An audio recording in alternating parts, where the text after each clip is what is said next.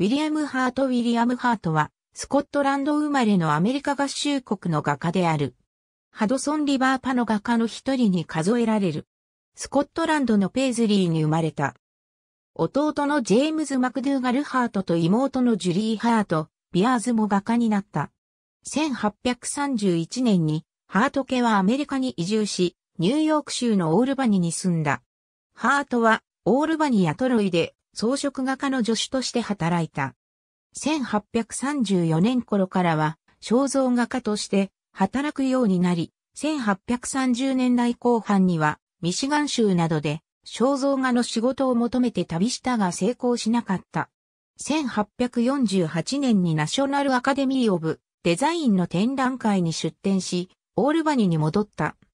ヨーロッパで風景画の修行をするように進められ、1952年までスコットランドに滞在した。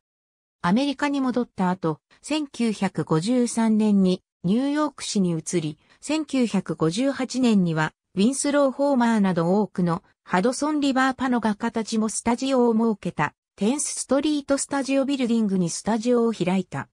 1858年にナショナルアカデミー・オブ・デザインの正会員に選ばれ、1870年代半ばはアカデミーで作品が常時展示された。ブルックリン美術協会などでも展示を行った。アメリカ水彩画協会の会員でもあり、1870年から1873年まで会長を務めた。